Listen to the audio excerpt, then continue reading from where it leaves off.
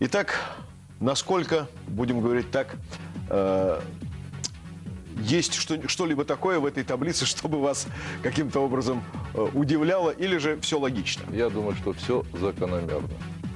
Э, чемпион- э, чемпионство Спартака, второе место Локомотива, третье место Зенита. Ну и здесь то же самое, в нижней части турнирной таблицы, наверное, покинули команды те, Дал мой коллега Александр. Кстати, комарам было за что мстить «Зениту» еще накануне матча основных составов. Матч дублеров «Зенит» выиграл 2-1. Такие, в общем, мысли были и такие, так сказать, разговоры. Дубль выиграл, основа сгорит. Уж лучше бы, так сказать, пускай ос- основа выигрывает. Об этой примете Анатолий Давыдов рассказал еще после матча со «Спартаком». Тогда не сбылось. Дубль выиграл 3-0, основа 2-1. Визит в Ростов-на-Дону еще раз опроверг эту маленькую футбольную теорию. Дубль «Зенита» в белых футболках. Вот нарушение штрафной ростовчан. И желтая карточка игроку обороны ростовской команды.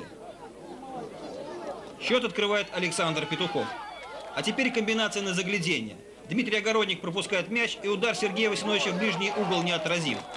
Свой единственный мяч хозяева проводят с пенальти. А вот что не попало в отчеты о матче дублеров. Юный воришка пытался увести бумажник, за что получил в от хозяина и был выдворен с трибуны доблестным работником правоохранительных органов. Дубль «Зенита» выиграл в девятый раз в сезоне. Больше, чем любая другая команда. Первое место в турнирной таблице – награда подопечным Давыдова за упорство, проявляемое в каждом матче. На следующий день основной состав «Зенита», как и дубль, начал тоже здорово. Петербуржцы сразу осваиваются на поле соперника, игроки Рассельмаша не поспевают за ними, и нарушение в штрафной площади против Максима Деменко на 18-й минуте матча как раз из этой серии. Он меня там захватил так, что мне уже деваться некуда было. И я практически упал на газон, и судья поставил 11-метровый, то есть он был справедливый.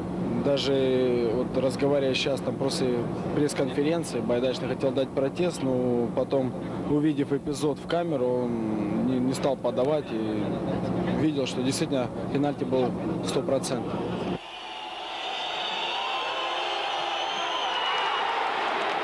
Один 1-0. Особую надежду ростовские болельщики почему-то возлагали на новобранца команды, темнокожего футболиста Харуну. Опекать нападающего сначала взялся Алексей Игонин, а затем Валерий Цветков. Хороший, быстрый игрок, бежит, скорость у него очень хорошая, такой настырный, и корпусом прикроет такой, ничего, такой хороший. Я думаю, он еще покажет себя как игрок. В этом матче Харуни Цветков показать себя не дал. Посмотрите, как плотно он его опекает.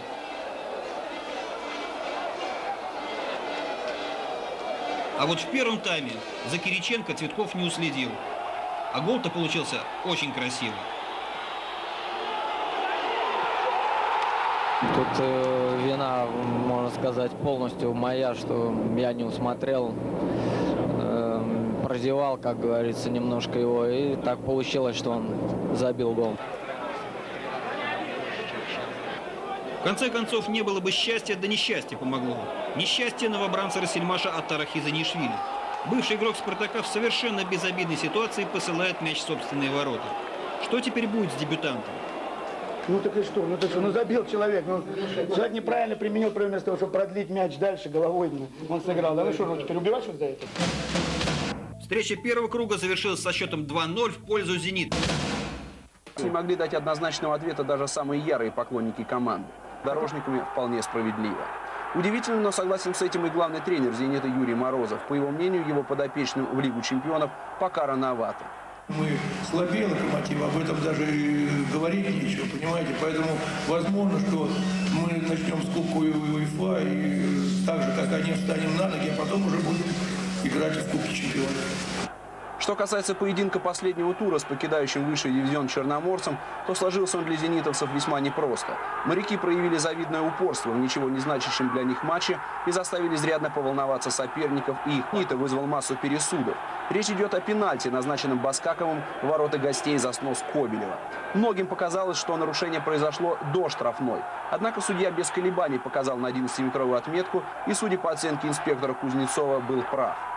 Так это или иначе, но уже к 17-й минуте «Зенит» вел 2-0, и максимум, на что хватило черноморца, на гол престижа. С окончанием встречи стадион Петровский притих и стал дожидаться результата из Раменского, где